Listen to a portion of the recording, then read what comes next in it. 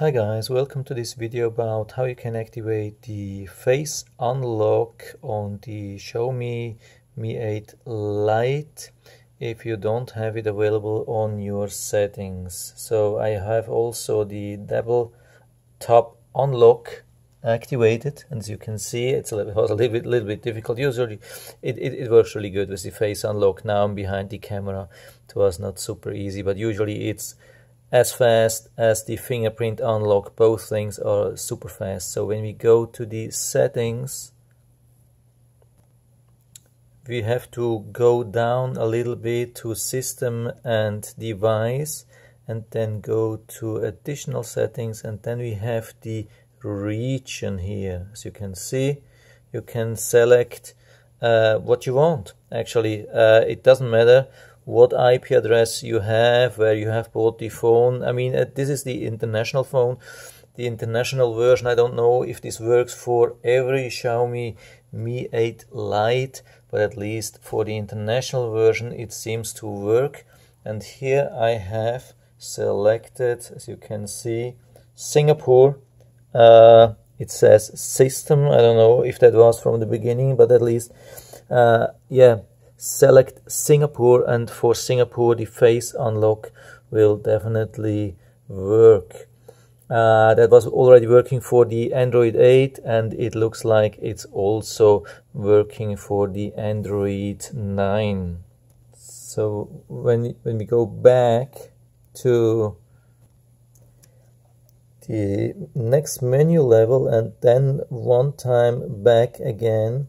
We are still in the system and device and here we have the lock screen. Oops sorry.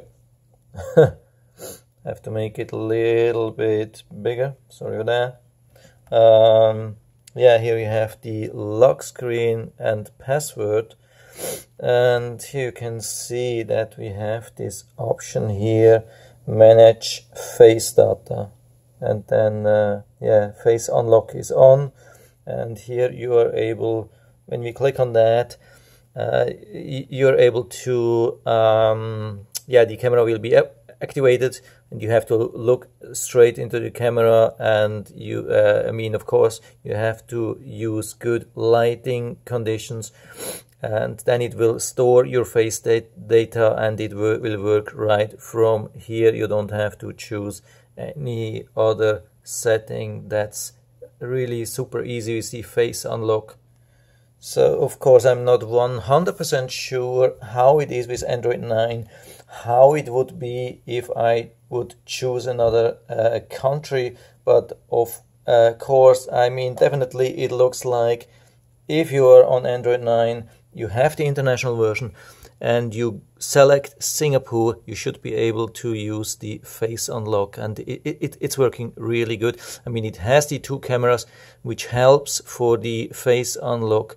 I don't, I'm not 100% sure if two cameras are needed, but usually uh, it does help definitely uh, to improve the face detection. So uh, for me, it works absolutely awesome and I have to act, uh, I have activated also the double unlock. I mean I'm talking about the double tap uh, screen unlock uh, which is for some strange reason reasons it's not in security it's in personal and display. And here we have the uh, system tab and double tap screen to wake. I don't know why this is. This is actually a security thing. Um, yeah, I would say it doesn't belong here, but yeah, anyway, it's good to know if you need that. I really like this thing. I have also this lock button, which is supposed to lock the screen.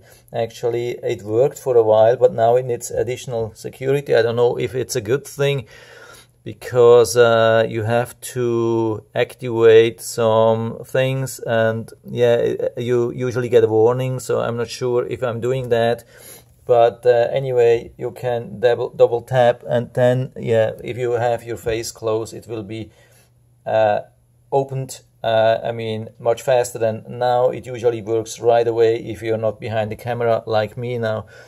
Yeah, but uh, that's it for now. So I hope I was able to help you a little bit with that. If you have any questions or comments or yeah whatever you have just write to the feedback uh, section below and i'm always happy to talk about these things and if you like the video give me a thumbs up subscribe my channel down here and yeah thanks for watching and see you next time